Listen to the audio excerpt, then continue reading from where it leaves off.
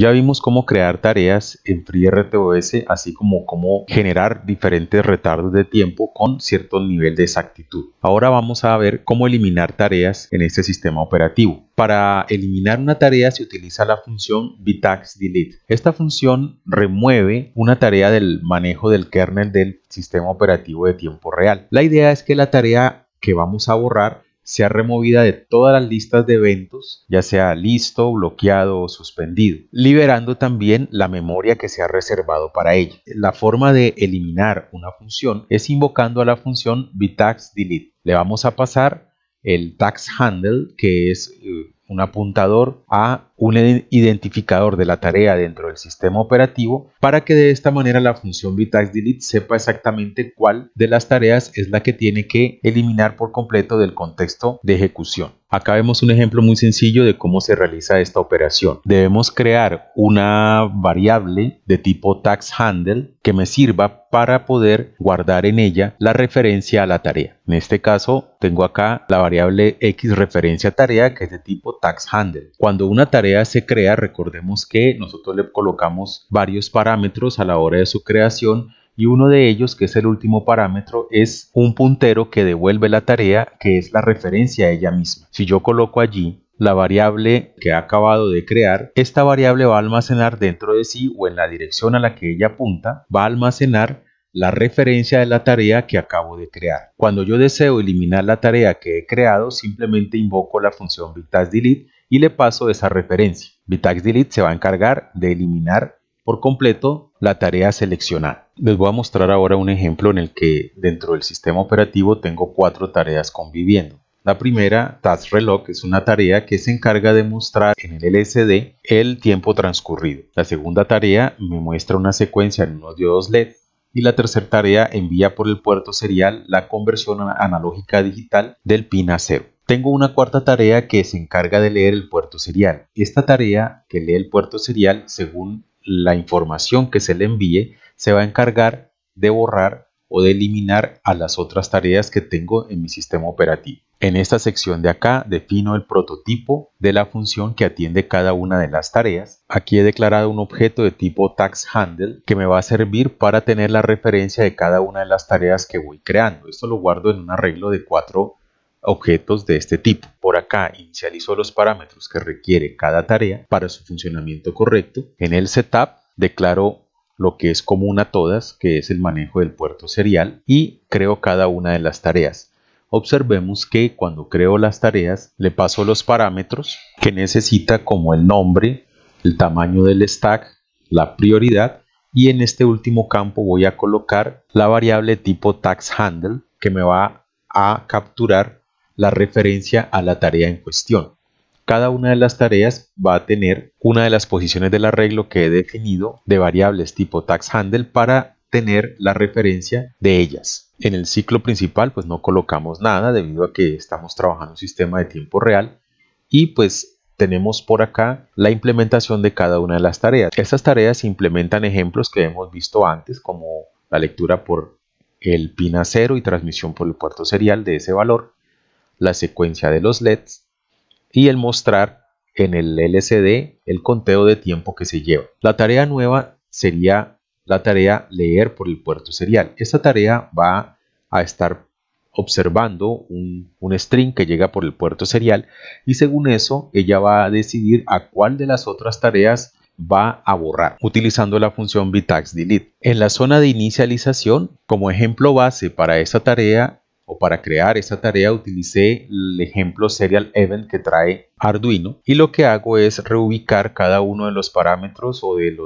las secciones de código que trae ese ejemplo dentro de esta tarea. Entonces al comienzo, al comienzo requiero configurar un string donde voy a almacenar el string que me llega por el puerto serial, una variable de tipo booleano que me dice si el string está completo o no y reservo 200 caracteres para este string de entrada que se va a encargar de tener o de guardar dentro de sí lo que me llega por el puerto serial. Aquí está el for infinito que se utiliza para colocar dentro de él el código de la tarea. Como primera instancia en esta sección que tengo aquí lo que hago es leer el puerto serial. Esto está, este código es el mismo que está en el ejemplo serial event de Arduino. lo que me verifico al principio es si el puerto serial está disponible. Si está disponible hago la lectura del puerto serial y guardo cada carácter que me llegue en una variable que se llama inchar. Luego concateno el valor de esa variable con el string input string y cuando esta variable de tipo char guarda dentro de sí el carácter numeral que me ha llegado por el puerto serial, digo que el string está completo y lo coloco en verdadero. Una vez salgo de este while, paso a una serie de if concatenados. Entonces, lo primero que hago es verificar si el string está completo, o sea que la cadena me llegó con un numeral al final. Y luego utilizo la función equals de los objetos de tipo string para comparar lo que está dentro de la variable input string, que es lo que he recibido por el puerto serial, con una cadena de caracteres. En este caso acá lo que coloco es el nombre de cada una de las tareas. Ustedes pueden poner cualquier cosa allí, puede ser un número o una letra. Yo lo quise hacer así, con el carácter numeral al final porque esa es la cadena de texto que yo estoy enviando y este carácter es el que me indica pues que la, transmisión concluye. Cuando este string de entrada es igual a esta cadena de caracteres, yo devuelvo por el mismo puerto serial esta, este texto diciendo pues, que estoy matando la tarea particular a la que estoy accediendo.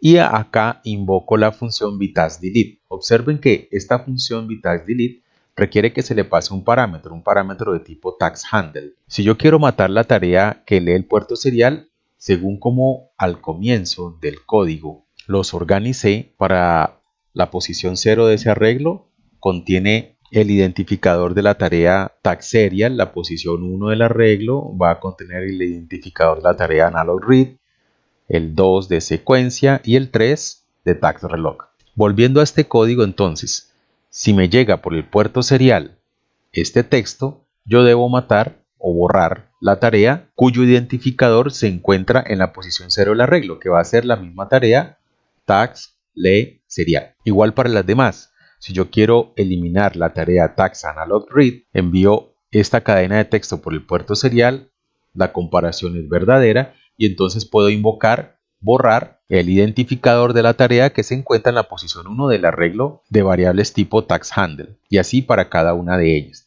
De esa manera elimino todas las tareas. Al final he colocado un delay de dos ticks para volver nuevamente a comenzar el for, de tal manera que esa tarea pues se está ejecutando constantemente. Le he dado la prioridad más baja a esa tarea debido a que ella pues tiene un retardo que es el más pequeño, diferente a las otras que lo tienen más grande y en cierta forma dejan más tiempo disponible el procesador. Voy a compilar el programa y a descargarlo en el microcontrolador para ver el funcionamiento de, del programa que se ha creado. Entonces, cargo el programa y vemos cómo comienza a funcionar. Entonces acá tenemos la secuencia de LEDs, el cronómetro y acá en pantalla tengo el puerto serial recibiendo la conversión analógica digital del pin a 0. Aquí cambio el valor del potenciómetro, varío el potenciómetro y vemos que eh, efectivamente cambia la recepción serial. Ahora, lo que yo requiero es eliminar cada una de las tareas. Si yo elimino una tarea, la tarea va a dejar de funcionar. Entonces lo primero que voy a hacer es eliminar la tarea que se encuentra transmitiendo el valor analógico por el puerto serial. Si yo envío por el puerto serial este texto, le estoy indicando a la tarea que lee el puerto serial que elimine la tarea analog read. Entonces, si lo envío, le doy enter acá. Miren que dice killing tax analog read. ¿Por qué? Porque recibí por el puerto serial, después de leer el puerto serial, recibí esta cadena de texto y cuando yo recibo esta cadena de texto paso a transmitir por el puerto serial esta información, killing tags analog read, y luego elimino la tarea. Lo cual ha ocurrido acá porque observen que ya no estoy recibiendo más datos por el puerto serial. Ahora, si yo quiero eliminar la tarea de la secuencia de los LEDs, voy a transmitir por el puerto serial este texto y eso va a hacer que yo elimine la secuencia de los LEDs. Miren que acá están los LEDs efectivamente realizando la secuencia y cuando yo transmito me llega por el puerto serial kill intact secuencia y ya los LEDs se quedan quietos, debido a que esa tarea fue eliminada. Por último tengo acá el reloj corriendo y pues voy a proceder también a eliminar esa tarea. Transmito por el puerto serial el nombre de la tarea seguido de numeral como lo he codificado